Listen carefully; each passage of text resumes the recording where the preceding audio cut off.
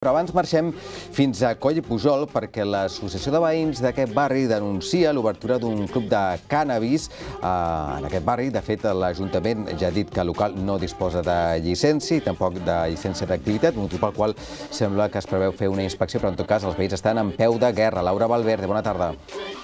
Bona tarda, Carles. Doncs fa mesos que aquest local, que està situat al carrer Maragall número 30 del barri de Coll i Pujol, està en obres per convertir-se en un club de consum de cànnabis. De fet, el veïnat, que està en contra de l'obertura d'aquest negoci, ha recollit més d'un centenar de signatures per demanar el seu tancament. Tenim amb nosaltres el Francesc Castillo, és el president de l'Associació de Veïns. Bona tarda. Hola, bona tarda.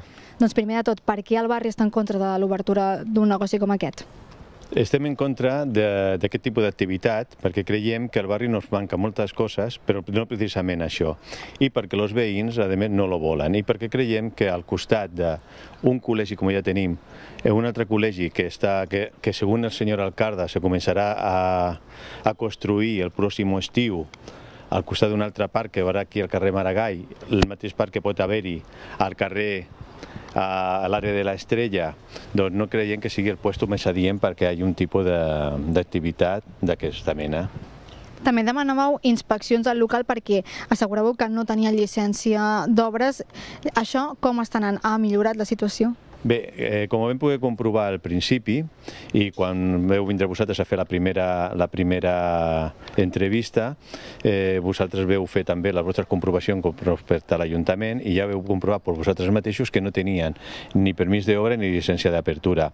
Per tant, nosaltres el que vam fer automàticament va ser fer una instància a Guàrdia Urbana perquè passessi a disciplina urbanística i se comprovés exactament què és el que estava passant en aquest local, perquè estaven treballant i que pràcticament anaven treballant sense, a, porta tancada, de més, que no es veia res, i això era la situació que ens trobàvem en aquell moment. A banda d'això, Esquerra, el grup municipal d'Esquerra, us demanava que en el proper ple municipal es parlés d'una possible regulació de negocis com aquest, no només en aquest barri, sinó en el conjunt de la ciutat. Què en creieu d'aquesta iniciativa que proposava el grup municipal?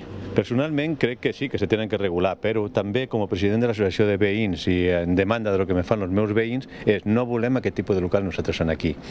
Com lo van a regular? No ho sabem, perquè el que sí que sabem és que tots els ajuntaments que han presentat un tipus de regulació d'aquesta activitat, totes el Tribunal Constitucional se les ha tirat cap a darrere. Els ajuntaments no tenen potestat per donar llicències d'aquest tipus d'activitat. Solament les poden permetre fer xerrades sobre aquest tipus de, de l'ús de, del cànnabis.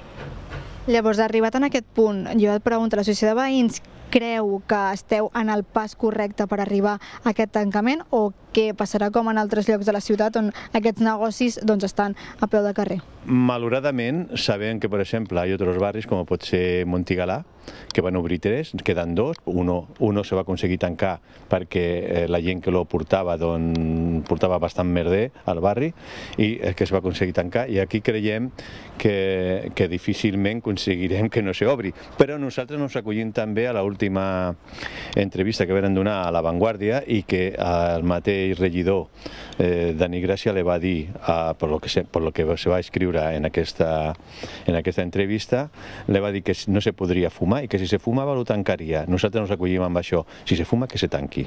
Doncs moltes gràcies, Francesc. Doncs, Carles, continuarem amb aquesta notícia. Ho seguirem de prop, sobretot, sobretot en el proper ple on es parlarà d'aquesta regulació.